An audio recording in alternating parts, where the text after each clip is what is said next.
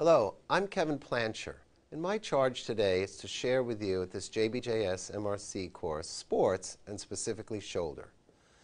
These are my disclosures, and these are some of the topics that we're going to share this morning. So why don't we start with shoulder anatomy.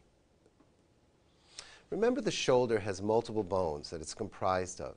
The scapula, the clavicle, and the humerus are some of them. The last ossification center to close in young men it turns out, is the medial clavicle aged 20 to 25. And interestingly enough, at five weeks of gestational age, you can see it on a plain x-ray as it ossifies. Remember that one-third of the shoulder's motion is scapulothoracic, while two-thirds is glenohumeral. Louis Bigliani and others helped us describe the shape of the acromion from type 1, type 2, and type 3. And we're going to talk a little later about the importance of the type 3 acromion and how it impacts patients with impingement syndrome and rotator cuff tears. Most of the time the acromion fuses, but at times in 3%, so rare, but 60% bilaterally in those individuals, an os acromiale can be found. And this unfused secondary ossification center is located at its most common site between the meso and the metaacromion. The sternoclavicular joint plays an important role in the shoulder. And you must distinguish between joint injury and physeal fractures. Remember that the epiphysis ossifies at age 18, while the physis closes even later at age 23 to 25. When talking about the sternoclavicular joint, it's important, like the AC joint, to remember that its primary stabilizer and most important part is the posterior capsule and its ligaments. Speaking of the posterior capsule, it gives you the most restraint to stability. And when sectioned, you can see posterior translation to occur up to 106% of that increased length. The arteries that occur around the shoulder are many, but the axillary artery, remember, is divided into three regions, and we use the pectoralis minor as a midpoint. If we're medial to the pectoralis, we think of the superior thoracic artery. If we're lateral to the thoracic trunk, we're going to talk about the thoracoacromial trunk and the acromial branch specifically, which we'll be careful about when doing a distal clavicle resection. This artery in part 3, lateral to the pec minor, has two branches that are important, the anterior humeral circumflex and the posterior humeral circumflex. Recall that the posterior greater tuberosity is supplied by the posterior humeral circumflex, and its posterior inferior head at 64 percent. When we speak of the primary blood supply, the literature has changed somewhat that we know that the posterior humeral circumflex supplies 64% of the humeral head, while the anterior humeral circumflex does supply the proximal humerus, and so think of it when a patient has a proximal humerus fracture and it's disrupted 80% of the time. When soft tissues, there are dynamic and static stabilizers of the shoulder. The dynamic stabilizers might be thought of as the rotator cuff. It works in a mechanism of the concavity compression mechanism. That is, the ball is squeezed into the socket using a negative intra-articular pressure with aid from the static stabilizers, the labrum, which if you think about as a golf tee, when the sides of the golf tee are present, the ball stays on the tee. No different in the shoulder. The shoulder is stabilized by the labrum as it increases its depth up to 50%. Ligaments that play an important role in the shoulder stability is the coracohumeral ligament. It is the primary restraint to inferior translation and multidirectional instability, as we will speak about. And the coracoacromial ligament plays a large role in the elderly patient to prevent anterior superior escape in that rotator cuff deficient shoulder. When thinking about the glenohumeral joint ligaments, the superior glenohumeral ligament will resist that dislocation anteriorly with the arm at its side or adducted. The middle glenohumeral ligament will resist anterior translation of an arm at 45 degrees of abduction and external rotation. And one of the most important ligaments is the anterior band of the inferior glenohumeral ligament, which will resist anterior inferior translation with the arm at 90 degrees of abduction and external rotation, almost like Cheez-It, it's the cops. Inversely, the posterior band of the inferior glenohumeral ligament is thought to resist posterior translation and inferior translation with the arm down at its side and internal rotation. The open rotator cuff uh, rotator interval was discussed with Codman years ago with the supraspinatus superiorly and the subscapularis inferiorly. Today we talk about the arthroscopic rotator interval and its important contents, the biceps tendon, the coracohumeral ligament, and the superior glenohumeral ligament. It's important when you think of your patients, if there's laxity of the rotator interval, think of increased inferior translation. Think of a patient with multidirectional instability. On the other hand, if you have contracture of the rotator interval, think of a decreased range of motion or a patient that shows the symptoms of adhesive capsulitis. The brachial plexus is an important structure, and I'd just like to highlight a few of the nerves that are talked about more often than not in a recertification course. Here you can remember that the axillary nerve is off the posterior cord. It's posterior to the axillary artery, and that's why it's not affected as much in a traumatic uh, knife wound. There is an anterior division that innervates deep to the deltoid, the anterior, the middle, and the posterior deltoid rarely. And remember clinically when doing a mini open rotator cuff tear with your lateral incision that the evidence has shown that from 3 to 6 centimeters at the lateral acromion to be cautious as you might find that branch of the axillary nerve. The posterior division has innervation, and it's the axillary nerve to the teres minor. And when disrupted, you can find a patient demonstrating that hornblower sign, as we'll talk about in a massive rotator cuff tear. The axillary nerve can travel with and through the quadrilateral space, the posterior humeral circumflex. Remember that the anterior branch, as we said, comes 5 to 7 centimeters distal to the lateral edge of the acromion, and most importantly, clinically, in the operating room, if you want to move the axillary nerve away from the surgical field when placed in the beach chair position, then simply adduct the arm and externally rotate it. In a glenohumeral dislocation, we all do try to check in the office or the emergency room for any numbness on the lateral shoulder and the deltoid, and that's represented by the axillary nerve. The musculocutaneous nerve penetrates the coracobrachialis at 3 to 8 centimeters distal to the coracoid tip. Its terminal branch, as seen here in the left antecubital fossa in the photo on the right, is the lateral antebrachiocutaneous nerve. Overzealous retraction during open Bankart procedures or shoulder procedures can sometimes demonstrate, unfortunately, a loss of elbow flexion and loss of supination of the forearm. And when that occurs, one has to think of the musculocutaneous nerve. There are triangular spaces which contain the scapular circumflex artery, and the triangular interval, more known to have the radial nerve and the profunda brachii in its interval. The suprascapular nerve comes from the upper trunk. It's innervated by the C5, C6 cervical nerve roots and is a mixed nerve with motor and sensory fibers. You can see here as the nerve enters the supraspinatus fossa through the transverse scapular notch that the nerve dives under the transverse scapular ligament, nerve, the navy, and the artery goes above. It travels towards the glenohumeral joint, and then it dives medial to end in a distal branch to innervate the infraspinatus. And so when patients have isolated infraspinatus atrophy, think of compression of the spinoglenoid ligament. The supraspinatus begins by arm abduction the first 30 degrees and is innervated by the suprascapular nerve, while the infraspinatus, I want you to think of, takes care of external rotation at 0 and 90 degrees, innervated also at the suprascapular nerve. And the teres minor is our another external rotator and is innervated, as we talked about, with the posterior division of the axillary nerve, yielding a hornblower sign when not functioning. The subscapularis is our primary and powerful in, uh, internal rotator, innervated by the upper and the lower subscapular nerve. The latissimus dorsi, another internal rotator, is innervated by the thoracodorsal nerve, and one of our last external rotators, the teres major, is innervated by the lower subscapular nerve, unlike the teres minor, which is innervated by the posterior division of the axillary nerve.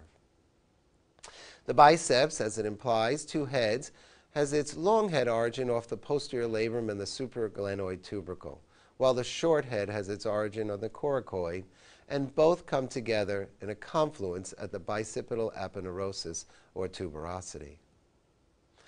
When doing open surgery around the proximal humerus, it's important to remember that the latissimus dorsi, the lady between two majors, is medial to the long head of the biceps, while the pec major and the teres major are inserting at the greater tuberosity, the pec major lateral, the teres major medial to the long head of the biceps. So X-ray technologists can help you, and I encourage you to always avoid a routine AP seen in the middle image. Rather, try to get the true AP or the Grashey view so you can see you're not misled to think that there's glenohumeral arthritis, but rather the glenohumeral joint is open. A scapula Y is important to detect the acromion morphology, as we talked about for a type 1, type 2, and type 3. It's essential to get an axillary view. And here you can see in the bottom right the loss of external rotation the patient would signify by having a bone-on-bone -bone relationship and seen in the axillary view.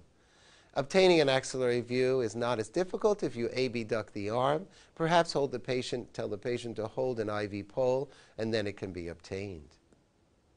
Specialty views, like a Bernageau view or a Stryker notch can help you to detect the Hill-Sachs lesion, so important as we'll talk about.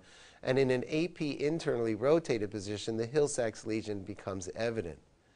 When talking about the AC joint, obtain a Zanca view at 10 to 15 degrees cephalad.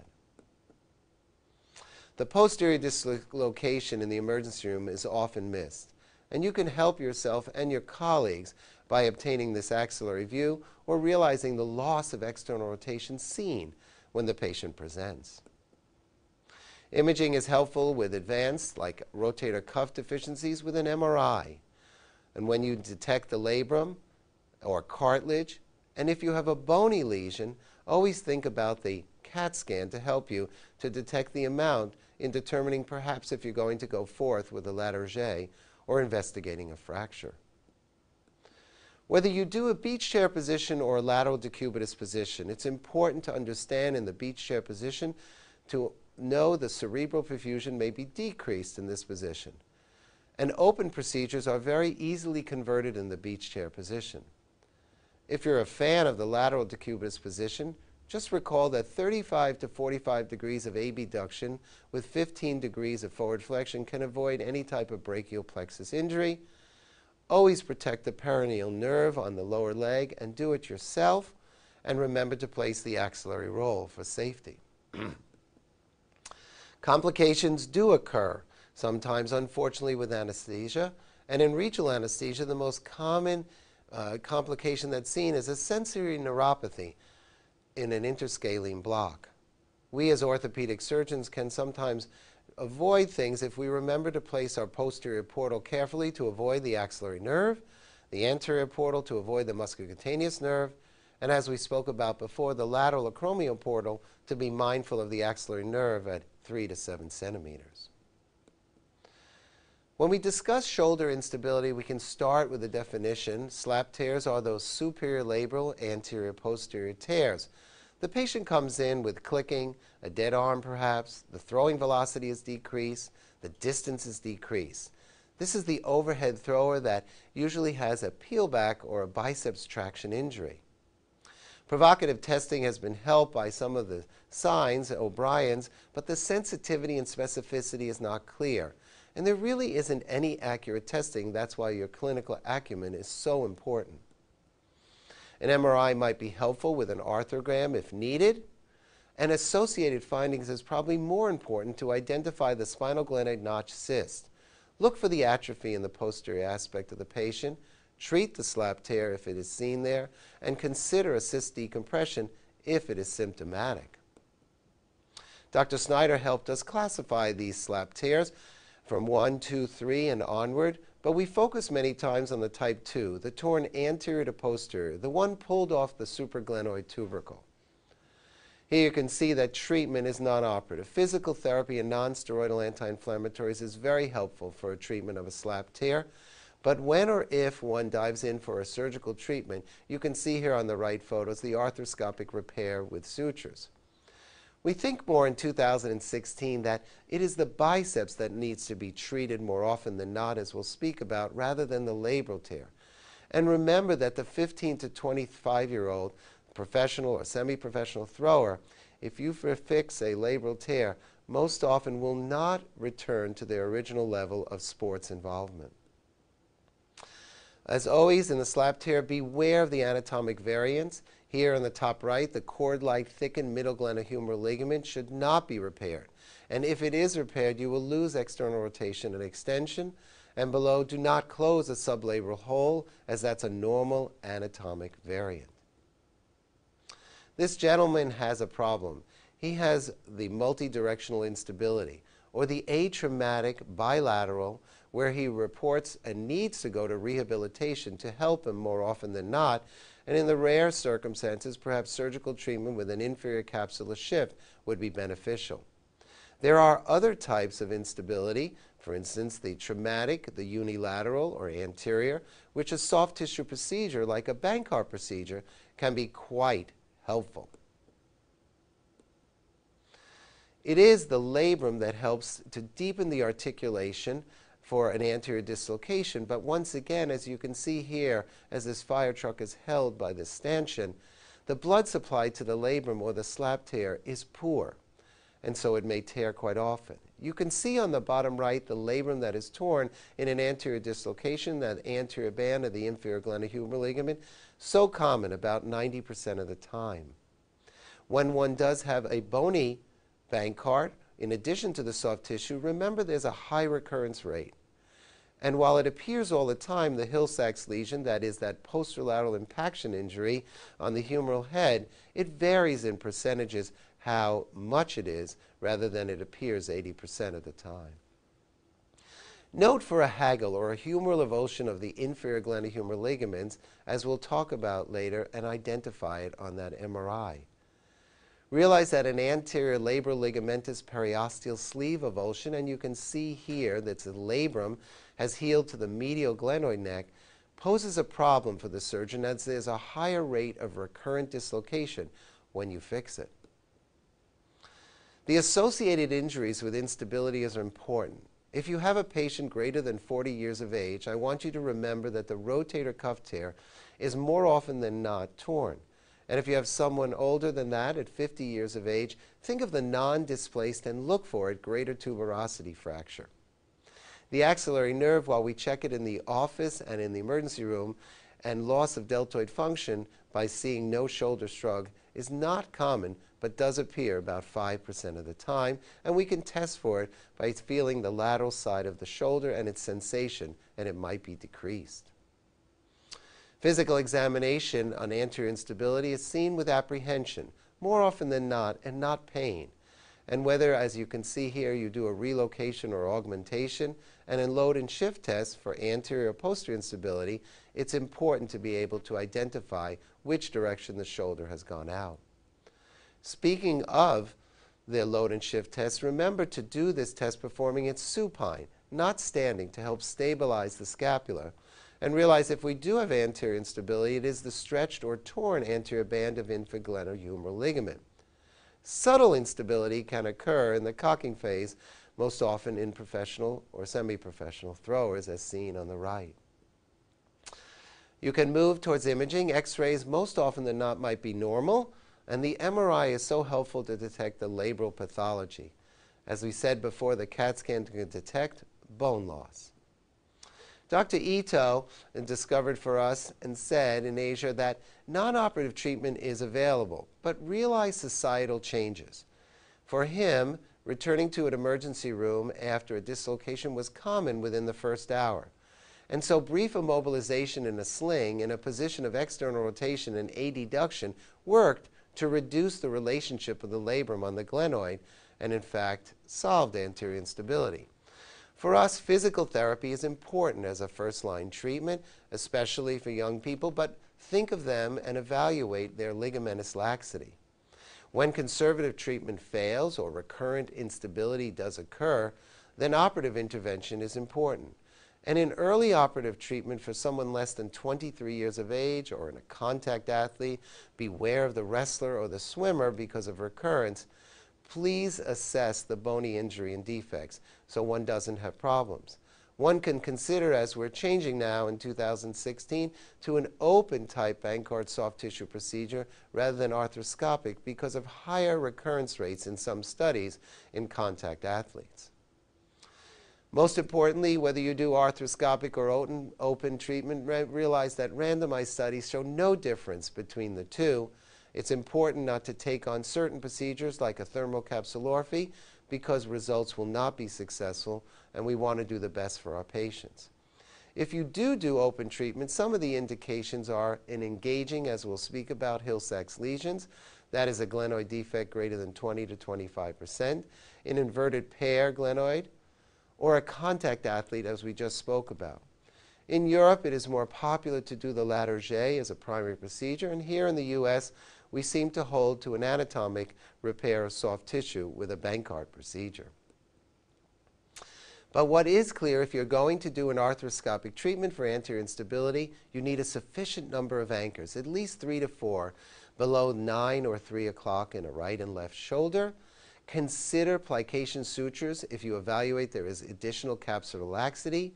Try a low anterior portal to be truly perpendicular to the glenoid and as always to incorporate any bony deficiencies as you can so we don't lose that concavity compression mechanism that holds the ball into the socket. Technical errors can be avoided if you place your anchors not on the medial scapular neck, but replace them on the bumper, as you can see here has been the problem. And recurrence can occur with anterior instability, and its most common complication is dislocation related to age. Less than 20 years of age and non-operative treatment will have a recurrence rate of about 90%. Operative intervention, when done, we have to be careful to avoid a subscapularis tear, and so we're careful to put it back in an open Bankart procedure, but can be detected by the patient with a lift-off procedure. And as said as before, here on the right, look at careful anchor placement on the bumper, not perhaps on the medial scapular neck. When there is bone loss, as Dr. Burkhart helped us see, we know that recurrence rates in his own series was up to 64%, and to eliminate it, we have to take care of the bone. The Latarjet can help us. We can transfer the coracoid and result in restore the continuity of the glenoid. Remember that complications can occur with some loss of external rotation, whether it be to the musculocutaneous nerve, to the suprascapular nerve, with an avulsion fracture it's been seen of the coracoid, or a non-union of the bone block. And so we need to learn how to do this procedure well. Glenoid loss greater than 20% can have failure of anterior instability if we don't deal with the bone loss. And performing an arthroscopic Latarjet today is difficult and has very high complication rates, even in the expert's hands. And I would caution you and learn the open Latarjet when needed. The glenoid track, as it's discussed when thinking on track of the lesion, is a good thing. It's non-engaging, and if there's a glenoid defect of less than 25%, a soft tissue procedure like an arthroscopic Bankart repair is important. If a glenoid defect exists, then greater than 25% bone grafting of some sort, sort must occur. An off-track lesion, as we speak about, is not good. It's an engaging defect where the glenoid defect is less than 25%, and we do an arthroscopic remplissage as we shown. Remember that when doing the remplissage to try to stay away from the valley or the medial margin of that Hill-Sachs lesion so you don't lose, lose external rotation. Here you can see the Hill-Sachs lesion being demonstrated, and when it's greater than 40% in that posterolateral corner, it's recommended to prevent engagement of a lesion. We might add, as we spoke about, the anterior labral tear with capsular reinforcement and a Bankart repair. Posterior instability is more unusual. It comes with patients that have seizures, perhaps a motor vehicle accident, or a football lineman with his arms straight out in forward flexion, internal rotation, and adduction. Unfortunately, it's missed many times in an emergency room. The patient will present with a locked, internally rotated arm and loss of external rotation, and we need to help our colleagues to diagnose this with a good x-ray to understand the reverse Hill-Sachs will be present, and on physical exam, one can see a jerk test for posterior instability. Here, seeing the posterior instability demonstrated is quite sensitive. Remember, in posterior instability, the clinical complaint is pain more often than not, not apprehension, as opposed to anterior instability, where apprehension is the main clinical complaint. Posterior instability can be treated in a non-operative fashion with immobilization and strengthening of the infraspinatus during physical therapy. And if you proceed with operative intervention, an arthroscopic posterior Bankart repair can be done with a viewing portal anteriorly and a working portal down at 7 or 5 o'clock. Beware not to over-tighten so that we don't create anterior instability, and as always, avoid the axillary nerve, that posterior branch that stays within 3 millimeters of the glenoid. A posterior dislocation, though, when it's acute, can be closed reduced up to three months, but if it's locked and chronic, think about when the humeral head is involved less than 30% of taking the subscapularis with the lesser tuberosity and transferring it into the lesion. If a defect exists and it's greater than 50%, a humeral head replacement is more advisable. Multidirectional instability is that atraumatic bilateral problem that a patient says, well, I carry a suitcase and my arm drags down. Look for generalized ligamentous laxity or hyperextension of the knees, elbows, and thumbs. Look for the voluntary dislocator. Here you can see one of the physical signs, the sulcus sign, in a patient that has multidirectional instability. And remember that the stretch bands of the anterior and now the posterior infraglenohumeral ligament will be present. Look for ligamentous laxity or blue sclera on a patient that may have a subtle Ehlers-Danlos. Hyperextensible elbows are also common. For the times that you do operate, realize that a multidirectional instability patient often has an absent or deficient labral pathology. Our swimmers are very commonly seen with multidirectional instability. Non-operative treatment can be very helpful with physical therapy, uh, strengthening the rotator cuff for about three to six months, and scapular kinematics are very important to see. An inferior capsular shift with surgical treatment or a pan-capsular plication can be helpful in operative intervention, and stiffness, even when tightening it, is very rare in these types of patients. Impingement comes in three varieties these days. You can think of external or the classic or primary subacromial impingement, where the supraspinatus is compressed under the greater tuberosity or the CA arch. In throwers, I want you to think of internal impingement in abduction and external rotation, where there's contact of the posterior rotator cuff and the posterior glenoid.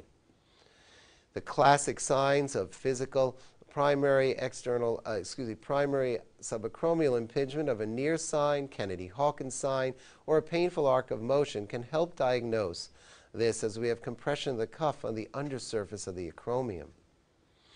Treatment is seen with an injection, and accuracy now in the literature has been shown that an anterior injection more than a lateral and more than a posterior can help with accuracy to treat subacromial impingement.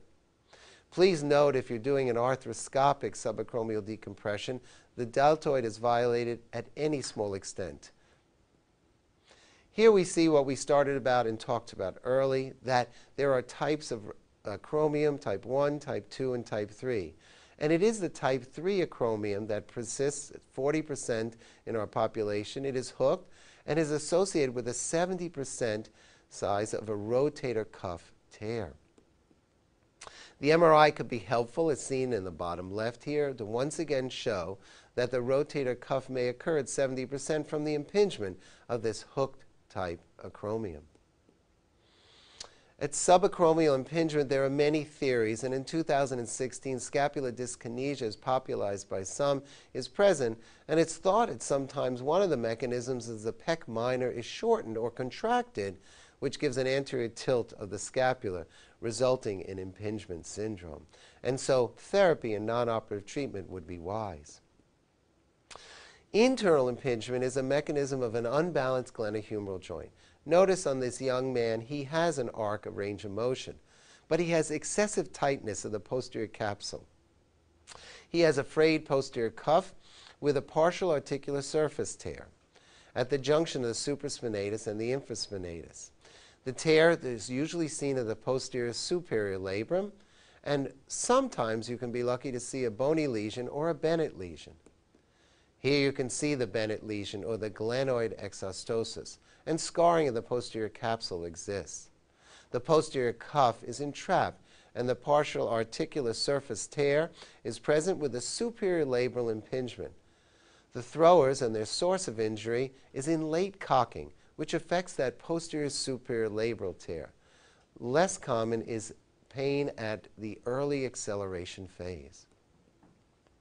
When you do examine a patient with internal impingement, they have the glenohumeral internal rotation deficit, or that internal rotation that's decreased with a tight posterior capsule, or GIRD. We define it as 25 degrees of side-to-side loss of internal rotation. External rotation will be increased, and more often than not, we can find in asymptomatic throwers a humeral retroversion. By all means, obtain that MRI, look for the posterior labral tear, look for the cuff tear and that partial articular surface tear, or just fraying as you can see on the top right here. Physical therapy can help GIRD. We can strengthen the subscapularis and the serratus anterior. We have to stretch out that posterior inferior capsule with exercises like a sleeper stretch or the pec minor.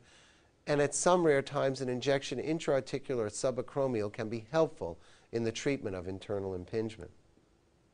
When physical therapy fails after a lengthy process, a capsular release can, can help to release that posterior inferior capsule, perhaps a debridement of the labrum, and avoid repairs as we've spoken about before in throwers because they don't seem to return to their original sport if fixed. And think about a PASTA repair that is a partial articular surface tear repair or just debriding those fibers as they're hanging down. The rotator cuff can be torn. It is age dependent. Trauma affects a rotator cuff in a less than 40 year old. And more often than not, it is non traumatic in a greater than 60 year old. The patient will present with pain or perhaps a chronic ache. They may demonstrate a sleep disturbance. They may say it's difficult to do overhead activities. And I would like you to remember the special category patients the overhead worker that can have a very common rotator cuff tear or the unfortunate spinal cord injury patient that has overuse from using the wheelchair and demonstrates a rotator cuff tear that truly needs this fix to get around in activities of daily living. Range of motion can be limited when a rotator cuff tear occurs. Pain or weakness may occur. Strength testing can be finite weakness depending on which rotator cuff is torn, or it can be global. If one cannot initiate the first 30 degrees of abduction, it's the supraspinatus that's affected. If external rotation is affected, it's the infraspinatus. And if the subscapularis is torn, it's increased passive external rotation with the arm at the side with decreased internal rotation strength. Speaking of the subscapularis, it's important to diagnose on physical exam, and there are several tests that we can use. The liftoff test demonstrate here detects the lower subscapularis deficiency. Unfortunately, it's only sensitive approximately 20% of the time. And there are other tests that are more efficient, and you need 75% of the subscapularis torn when the patient cannot lift their hand off their back to truly be helpful. The belly press or Napoleon test also tests the lower subscapularis. It has a 40% sensitivity it's a positive test with the flexed wrist, extended arm, and we exert a force on the lower abdomen with the affected upper extremity. The elbow may not drift towards the body. And if 50% of the subscapularis is torn, this test will be helpful. Dr. Burkhart helped us with the bear hug test, which has a higher sensitivity than the previous tests described. And it's only necessary of 30% of the subscapularis to be torn and in fact, this test, depending if you have flexion at 45 degrees or flexion at 90 degrees, can detect an upper or lower subscapularis deficiency. Well, if you have a partial subscapularis test, they're often not reported. And in studies, the sensitivity and the presence is quite high. Beware when you have a partial subscap tear that you might have a torn or sublux biceps and this does need treatment as the patient will complain of pain in the front of the shoulder. Here you can see the axillary views with the biceps out of that notch. And if that subscapularis is torn, there's nothing better than finding the comma sign, which will help us to see where the biceps is medially displaced, The comma sign represents that avulsed superior glenohumeral ligament and helps define the most superlateral aspect of the subscapularis tendon to help us know where to place it back. Partial or incomplete tears of the subscapularis in an arthroscopic view are difficult to detect. You might want to use a 30 or even a 70 degree scope in a neutral position or abduction internally rotated to evaluate this. Try not to underestimate the tear as these can be very uh, problematic for patients and we need to repair them. Others have classified partial rotator cuff tears as we've talked about full thickness rotator cuff tears and I think it's important just to describe as articular or bursal sided tears. Here you can see that PASTA lesion we spoke about in the young overhead thrower that has internal impingement. It's a silent lesion more often than not, because of the deceleration phase of the rotator cuff, it's an eccentric load failure. And in deceleration or in the follow through phase can occur, that is, the partial articular surface tear. These tears, when they occur, if greater than 6 millimeters is exposed, equate equated please to 50% of the thickness. And your treatment choice at that time is either an in to repair if you'd like, or completing the tear and repairing this partial articular surface tear now. PASTA lesions that are less than 3 millimeters exposed with a bursal side that's intact can be treated non-operatively or perhaps debrided or perhaps if indicated a subacromial decompression. And newer procedures are being experimented with, but we don't have long-term uh, data yet in repairs with certain patches laid on top. Then why do some rotator cuff tears hurt more than others? Please realize, as seen here in the stress strain curve, that bursal side tears hurt much more than articular sided tears. And the reason is the bursal sided tears and their bundles undergo greater deformation prior to failure because they have greater tensile strength. Therefore, pay attention when a bursal sided tear occurs or when pain is present by the patient. Articular sided tears, as we say, are more often than not silent. So articular sided tears greater than 6 millimeters need an indication for repair and do get repaired. And bursal sided tears, though smaller at greater than 3 millimeters, should be considered for operative intervention. Near full thickness tears, when reported by the radiologist, should send off a red signal that beware of a concomitant tear on the opposite side and please examine both shoulders. Here you can see a full thickness tear on the left of a rotator cuff in this MRI and a partial thickness tear where the MRI can help identify these lesions. More often than not, on some of these exams and recertification, it's important to remember to start studying the sagittal view, and here you can see the subscapularis, or getting facile with the ultrasound to detect partial thickness rotator cuff tears, here an articular sided tear seen on the right. In any event, understanding fat atrophy or the Goutallier classification is so helpful to understand the successive outcome. The more, that is, with equal fat and muscle or more fat than muscle, be cautious. Warn your patients, warn yourself that outcomes may not be as successful and re-tears can occur with a rotator cuff tear. Non-operative treatment can still be a, a mainstay with a complete rotator cuff tear, with nonsteroidal anti-inflammatories and injections. Operative indications can exist for failed conservative treatment, acute traumatic tears for younger patients, and the elderly patient that desires no loss of function with weakness and pain. Please be aware that patient that's elderly with no pain and just weakness and desires more strength can have a recurrence of re-tear and needs to be told, and at times perhaps should be considered to avoid surgery. Identification of tear patterns is important. It helps us to understand how we repair them in the operating room. Here seen a crescent-shaped tear on the left and a U-shaped tear on the right. If you choose to do a mini open a rotator cuff tear or a deltoid split, as we spoke about before, avoid the axillary nerve at 5 to 7 centimeters. Its pros, some would say, is decreased cost, decreased OR time, although cons might be increased postoperative pain for some, and deltoid dehiscence. If you are arthroscopically fixing something and you're curious about double versus single row at the present time, double row has less chance of gap formation, a higher load to failure, a better footprint contact, and you can do this with a suture bridge technique if you want, giving better footprint contact pressure. But there is no difference in improvement in outcome scores, even though a single row may have significantly higher re-tear rates. For a massive rotator cuff tear, you should expect lag signs. Large rotator cuff tears might have an external rotation drift, a drop sign, or an internal rotation deficit. Here you can see that hornblower sign we spoke about earlier with a massive rotator cuff tear affected by the teres minor or the axillary nerve in the posterior division, giving that inability to raise the arm in the bottom left screen. If you have irreparable tears or failures of rotator cuff surgery, they come in two varieties. You can have an absent posterior superior cuff where the infraspinatus is lost and the supraspinatus is lost. Think of decreased external rotation strength. And you can have the positive hornblower sign because the teres minor and the infraspinatus is affected.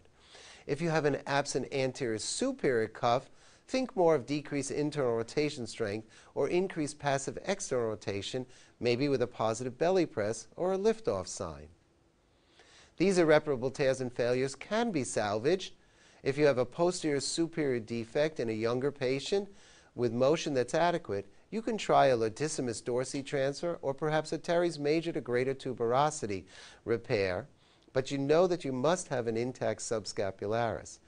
In a more elderly patient where forward flexion is less than 90 degrees, you may consider a reverse shoulder arthroplasty or perhaps some of the newer procedures without long-term yet studies like a superior capsular reconstruction. If you have an anterior superior defect or internal rotation is affected and the supraspinatus and subscapularis is torn, in a younger patient, you can now try a transfer of the pec major to the lesser tuberosity or greater tuberosity. Re-tears do occur, unfortunately, with a rotator cuff, and we have to warm our patient. And the tear size is probably the most consist consistent predictor of failure. Although there are other factors like age and the ability to heal, tissue quality, we spoke about fat atrophy, repair quality, and smoking status can absolutely affect uh, the completion or the success of a repair of a rotator cuff. Be cautious with infection, and propionibacteria acne, which exists on the skin, must be cultured for 10 days in the correct medium at 37 degrees, and so you need to warn your labs if you're trying to see if this is present and hold those cultures for the additional days. Complications such as a deltoid dehiscence can be avoided by avoiding a lateral acromionectomy. Here seen in the picture on the right is an axillary nerve deficit. Remember when placing the posterior portal to avoid the suprascapular nerve. And remember that worse outcomes do occur, unfortunately, in workers' compensation patients. They have higher post-op disability and lower patient satisfaction scores. Surgical treatment is contraindicated in rotator cuff disease when one has glenohumeral disease and it is severe, or perhaps when you have a fixed proximal migration of the humeral head. Consider a reverse shoulder arthroplasty or if no glenohumeral arthritis is present, perhaps a, gleno, a superior capsular reconstruction. Contraindications for repair might be a chronically retracted fat atrophy grade 4 Goutallier. And when infection occurs, you must get resolution before proceeding in a shoulder. Here you can see a superior capsular reconstruction is going to be a place when anchors were taken out of this humeral head in this young person. Indications for this are irreparable supraspinatus or infraspinatus tears, failed conservative treatment, and you can use perhaps an autograft or an allograft. Fixation is to the supramedial glenoid or the greater or lesser tuberosity, as reported short term with low re-tear rates but no long-term follow-ups. Here you can see in this author with a thick graph, the medial side is attached to the superior glenoid, this autograft or allograft with two suture anchors, and the lateral side is attached to the rotator cuff footprint on the greater tuberosity in the hope of reducing the relationship so the humeral end head is inferior and not, so to speak, acetabularized on the acromion. No matter what, good rehabilitation is necessary for the postoperative protocol or even conservative treatment for a rotator cuff with passive motion placed. Avoid internal rotation until four weeks. Think of six weeks before beginning active uh, range of motion and continue with active assistive range of motion, and gentle strengthening should not occur before eight weeks. It is go slow to get the exact relief for the patient and successful outcome for you. Strength training is important with pain-free, avoid impingement, avoid anterior capsular straps. Avoid the military press seen here on the right-hand side. Perhaps substitute an incline press. And if you're someone that likes to go to the gym, here are some of the exercises that occur that are problematic and an alternate exercise for strength training modifications. Orthobiologics are current, and most studies in the shoulder for platelet-rich plasma shows no difference, except one done in 2011 showing a lower re-tear rate. Adding bone marrow aspirate or mesenchymal cells in studies most recently did show a faster healing rate than just a rotator cuff placed alone, but it's limited in human data. Muscle ruptures can occur, and anterior shoulder pain occurs with a biceps tendon disorder. You can do your physical signs with the Speeds and Yergason. Try physical therapy, nonsteroidal anti-inflammatories, perhaps an injection, and on rare occasions, a surgical treatment. Here, when surgical treatment is necessary, note the long head of the biceps gave the Popeye deformity. There's weakness in forearm supination and elbow flexion. Cautious should be the word for the biceps that's medial displaced, implying a subscapularis tear, as we spoke about, with a comma sign represented by the avulsed superior glenohumeral ligament. And it can be detected with a belly press or lift-off test, and you need to look for it. Tendon instability of the biceps medially subluxed implies that subscapularis rupture, coracohumeral ligament tear, or a transverse humeral ligament tear. Provocative maneuvers can detect this, and treatment with a tenotomy or tenodesis is encouraged. Whether you arthroscopically debride, do a tenotomy, it's unpredictable with a Popeye deformity, but well done in elderly patients. And there are various methods to tenodese, whether subpec or suprapec. If a pec major rupture occurs, its innervation of the pec major, remember, is the medial and lateral pec. It always avulses from the tendon from the insertion. Look for a loss of the contour of the chest and the axillary fold. Repair is direct repair to the bone, and notice the patient will have weak internal rotation and adduction.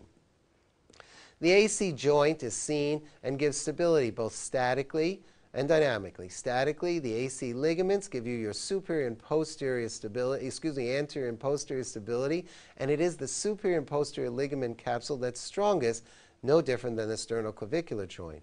Superior inferior stability is seen by the coracoclavicular ligaments, with the conoid more medial and stronger. AC joint tenderness can occur with tenting of the skin.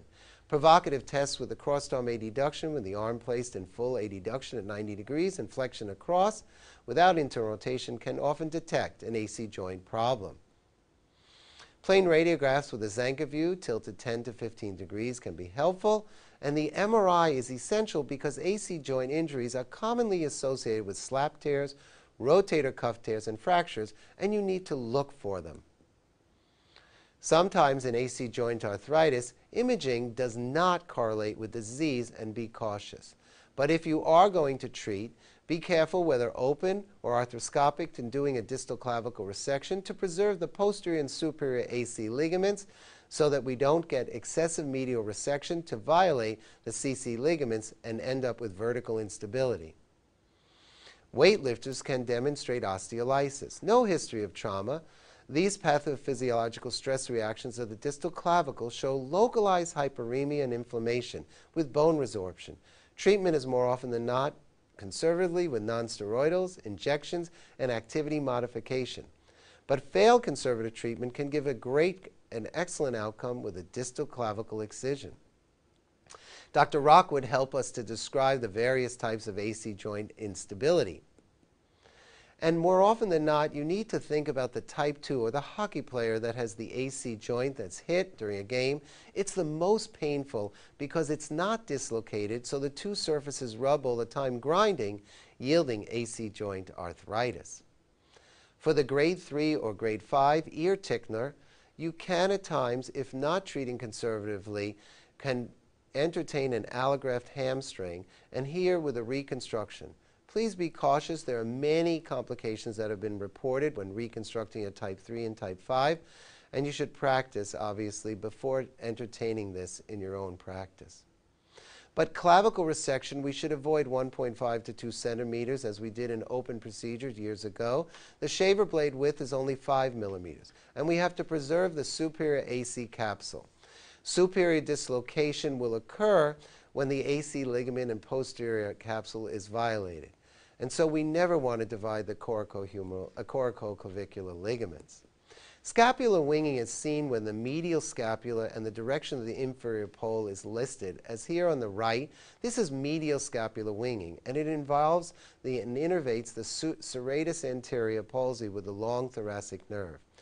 Remember that innervation of the trapezius is done by the spinal accessory nerve, and lateral scapular winging can occur. Think of the neonate that had the thyroglossal cyst and now has lateral scapular winging. Always detect the scapular winging by describing the inferior scapular pole, as I said, as the way to know if it's medial or lateral. If it's medial and acute, less than three months, strengthen the periscapular muscles like the serratus anterior. Chronically, we can perform a split pectoralis transfer with hamstrings, as seen here diagrammatically. For lateral scapular winging, non-operative treatment less than three months strengthens the trapezius, and chronically, we can consider an Eden-Lange transfer when moving these structures, that is the levator and the rhomboids, more medially to bring in that laterally scapular winging. Suprascapular nerve entrapment can occur. It is non-traumatic. Its character is dull pain or sharp pain. Think of overhead workers, high velocity volleyball players and throwers with weakness on external rotation and a high clinical suspicion. Whether you have compression at the transverse scapular ligament or the spinoglenoid ligament, you can detect different types of atrophy to occur. Here you can see three types, although motion is preserved in all of these patients. And the bottom left shows a florid suprascapular nerve entrapment without atrophy. And so you need ways to detect it. An injection with aspiration, whether you inject at the transverse scapular ligament carefully and perform a cross-body adduction test again and see if the chronic pain is gone, or whether you inject at the spinoglenoid ligament, seen here, 4 centimeters medial to the posterolateral corner, you can detect this disease entity. But ganglion cysts, while rare, can occur, and they occur at the spinoglenoid notch with the infraspinatus affected with weak external rotation.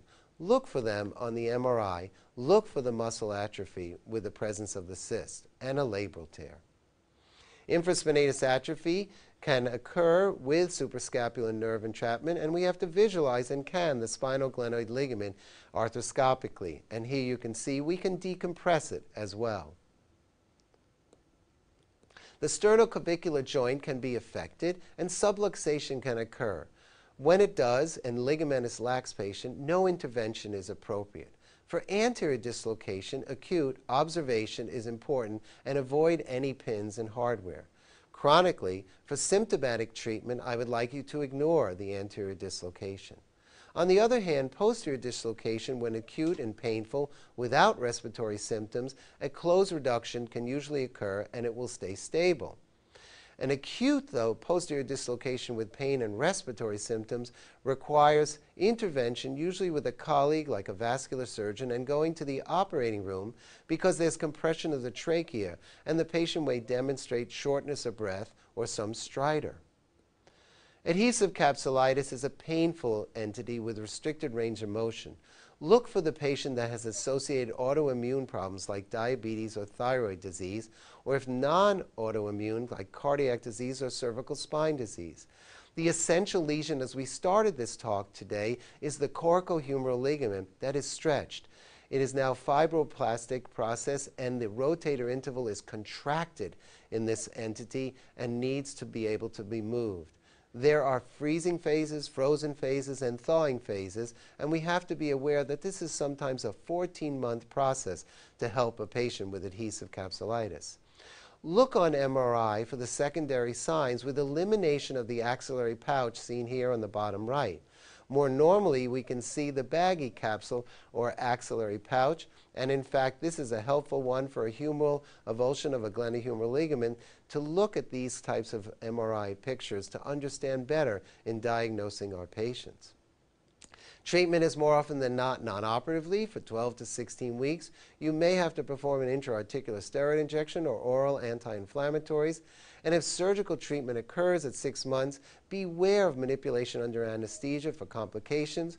Open or arthroscopic procedures can be done with lysis of adhesions, and we have to open the rotator interval, and we have to do a capsular release. Staging can occur, and we're cognizant of it and see here that you can now release this arthroscopic procedure of an adhesive capsulitis. Whether you do it open or arthroscopic, complete muscle paralysis is necessary, and postoperatively, using regional anesthesia for physical therapy can be helpful. Calcific tendonitis has three phases, pre-calcific, calcific, and post, and can be detected here as seen on the MRI in a T1 hypointense homogeneous signal. You can take this out with surgical treatment. If not tr treated non-operatively, you can attempt to needle it. But if you do excise it and you have a defect present with the rotator cuff, you must repair this and consider completion of the tear and an excellent repair so that patients don't have weakness after treating postoperatively the calcific tendonitis. Lastly, the little leaguer shoulder, epiphyseolysis of the proximal humeral physis, is an overuse condition.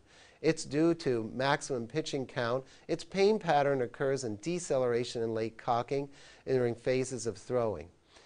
What's important is you can see here on imaging on x-ray the widening physis, the edema at the physis at the hypertrophic zone if an MRI is done. The treatment is no throwing for two to three months. The complications, if not, are physeal fracture or growth arrest.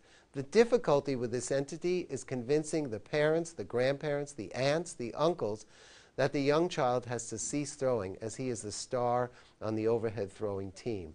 But I encourage you to have them stop throwing so the rest of his life he never has, or her life, any problems and complications from little league or shoulder. This diagram or the slide will show you some of the recommended pitching guidelines for these young, great athletes. And I encourage you to use it and hope that it helps.